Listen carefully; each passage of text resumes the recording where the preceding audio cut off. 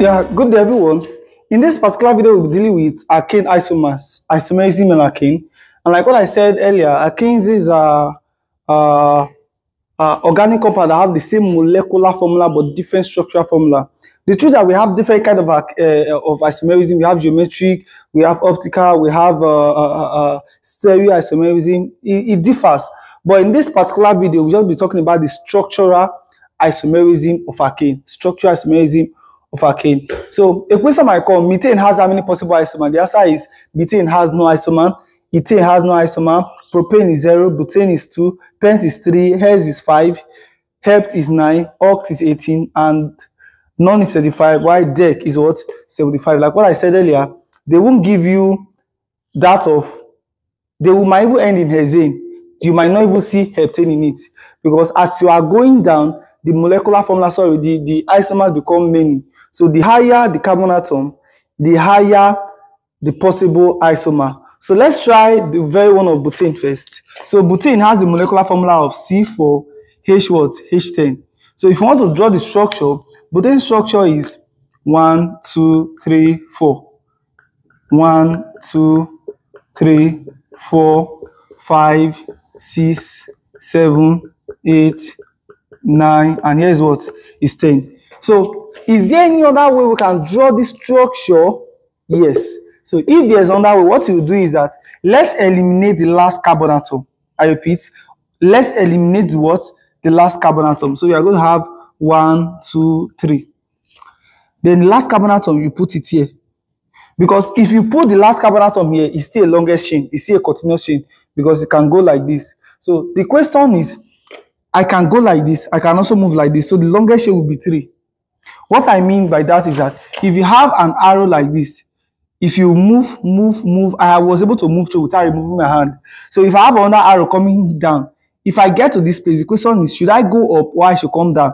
If I should come down, the journey is not far. But if I should go up, the journey is still very much what far. So I would prefer to do what? To go up instead of coming down. So this one that is here will become a what? A branching. Why this one here will become a what? The longest carbon what? Chain. So that's exactly what we are doing now. This is the longest carbon chain, and this is what? The branching. How many hydrogen? 10 hydrogen. One, two, three, four, five, six, seven, eight, nine, and here will be what? 10. Now, if you want to name this structure, four carbon atom is what? Four carbon atom is butane. So we call this normal butane. Normal butane, N-butane. Why this one here? What is the position of this guy?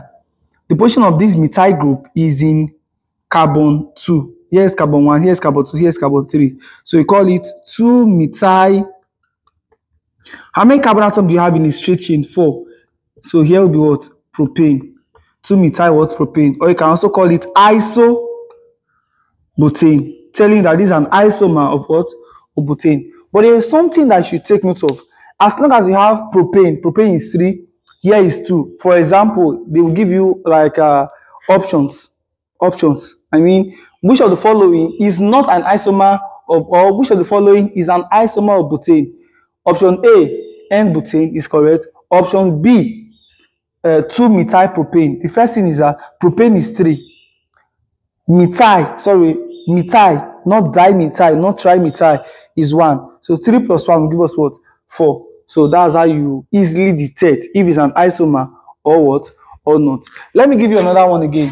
Um, butane, sorry, pentane. Pentane is C4, pentane rather, C5, H12. So it can be 1, 2, 3, 4, 5. 1, 2, 3, 4, 5, 6, 7, 8, 9, 10, 11, 12. All of them, they are what? They are hydrogen. They are hydrogen. Or I can try to move one of the carbon atom. One, two, three, four. I've decreased the carbon atom. I'll put a carbon atom here. One, two, three, four, five, six, seven, eight, nine, ten, eleven, what? Twelve. Or I can try to do it like this. One, two, three, four, five. Let's count the hydrogen. One, two, three, four, five, six, seven, eight, nine, ten, eleven, what? Twelve. If you realize they have the same molecular formula but different structural formula. So in this case, what you do is here is uh, 5 carbon atom and pentane. What about this one? Guess the name. You can't count from this side. You're going to count from the side that is closer to this functional group. This is a functional group. So you count from the side that is closer to this functional group, which is one, two. So one carbon, two carbon, three carbon, four atom, four carbon atom. So it will be what? Two methyl. One, two, three, four. Four is what? Butane. What about this one? One, two, three. So we have position two for this methyl we have position 2 again for this methyl. So 2, 2, dimethyl what? Dimethyl propane. The reason why it is propane because we have three carbon atom here. So I don't want to really go deep, deep, deep, deep. If I go deeper, you are going to understand much more better. But one of the reasons I'm not going deeper is because it's actually an objective question. So remember, the essence for this whole thing is to simplify chemistry. If I should teach you deeper, deeper, deeper, you might understand the whole work. But it might take you a longer time for you to predict if this is the answer or not. So let me show you the trick. Here is propane. Propane is what? Three carbon atom. Dimethyl, not di, methyl is one carbon atom. Dimethyl plus one plus what? One. Di means one, two methyl, which is everything here will be what? Five. If you calculate here, boot is four. Mitai, please don't look at this two. Oh. Mitai is what? One. So where which is going to give us what? 5. Pentane is also what? 5. So these are the possible isomer of what? Of the compound. So it doesn't really mean you should learn how to draw it. But it is important you learn how to what? To draw it. But if a question will come from the drawing in your exam, like this, this one will be CH3 bonded to CH2. How many CH2 is present? One, two, three. These are the this is the first CH2, this is second CH2, this is third CH2. So will now be what? CH3. But if you look at this one now, if you look at this one, how many CH2 3, please? You put the 3 here. If you look at this structure now, it will be CH3, CH2, then we have CH, open a bracket, what? CH3, the, this bracket. Now, one of the reasons why this is actually in a bracket or a parenthesis is because it's attached to this carbon atom. Then we now put the last CH3 here. I don't know if you understand what I just did. CH3, CH2, CH, the bottom part, CH3, CH3. Now, if I want to jot same for this one, it will be CH3, C. There's no hydrogen at the top. We have CH3 at the top. We have CH3 at the bottom. We now put 2 here. Here will now be what? The CH3. So that's how you do it. So for this one now, it will be CH3 bonded to what? CH, open a bracket, the bottom part is CH3 So this will indicate that this one here is a branching. Anyone that is in a parenthesis, in a bracket, apart from CH2, is a what? Is a branching.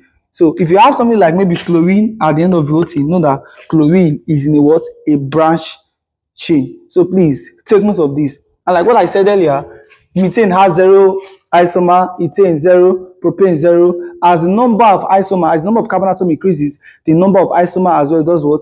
increases. So this is a general overview of what isomerism is all about. If you have any problem regarding this, uh, I will refer your secondary school textbook for you so that you can go through it and know more about isomerism. But I've given you the trick on how to get possible isomers of what? Of alkane. So if you have any question regarding uh, anything here, please feel free to drop that in the comment section. But I have a question for you. If you have something like two, three, di, methyl, uh, two, three, dimethyl. Let me use butane. Two, three, dimethyl butane. This guy here is an isomer of what? Two, three, dimethyl butane is an isomer of what? Let me do this correction for you first. Let me use this as an example. Butane here is four. Di, methyl, methyl is one. Di, two methyl, plus one plus what? plus 1, which is equal to what? 6. What if I have 2, 3, 3, tri, methyl, methyl, sorry, 2, 2, 3, yeah, tri, methyl, butane.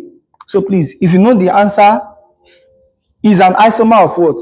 This one is an isomer of what? Let me give you option as well. Option A, we have pentane.